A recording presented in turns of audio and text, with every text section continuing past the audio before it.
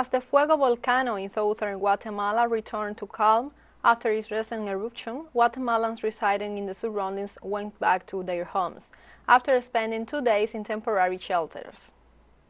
The Fuego volcano, which means fire in Spanish, is located about 50 kilometers west of Guatemala City. As one of the country's most active volcanoes, it erupted against on May 4th, spending lava, and volcanic gases, with an ash gaze hitting over 6,000 meters. The highly active status led to the closure of nearby roads and the evacuation of residents of the surrounding village of Chimaltenango, Zacatepec, and Escuintla. Meanwhile, authorities issued a yellow alert while monitoring the areas nearby Volcano since the colossus is always active, registering between 10 and 12 moderate explosions per hour.